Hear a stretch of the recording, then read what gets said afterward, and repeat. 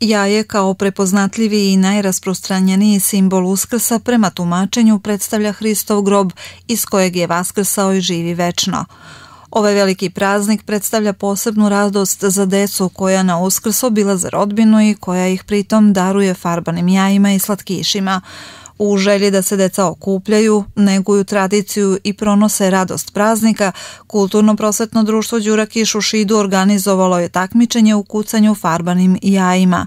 Okupljenim mališanima najpre su protumačene propozicije takmičenja, a zatim je počeo uzbudljivi deo igre. Kao i svake godine već tradicionalno ovo takmičenje u kucanju jajima.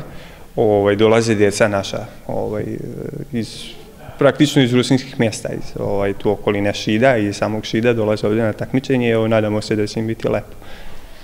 E, da li su pripremljene neke nagrade? Naravno, mi svake godine pripremamo ovaj, kako da kažem, evo, nagrade za ovaj, pobednike za prvo, drugo i treće mjesto, kao i za e, najmlađeg učesnika ili učesnicu.